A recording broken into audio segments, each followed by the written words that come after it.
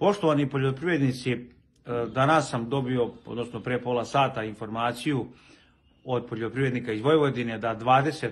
3. 2022. godine kreću velike proteste i to odmah radikalne, odnosno objavili su to da kreću traktorima za Beograd. Pošto ministar i ministarstvo poljoprivrede od onih zahteva koji smo imali, koji smo postavili na sastanku u vladi, gde je bio sa poljoprivrednicima iz Vojvodine i u Šapcu, gde je dolazio dva puta, većinu, 99% je to slagao i nije ispunio. Zahtevi su sada prošireni i Vojvođani imaju još svoje neke zahteve, a svi oni stari zahtevi ostaju na snazi. Što se tiče našeg kraja i poljoprivrednika iz ovog kraja, tište ih i subvencije, tište ih i uvoz mesa, tište ih i uvoz mleka u prahu. Sve je to ministar obećao i rekao da je to završena stvar, međutim ništa od toga nije tačno.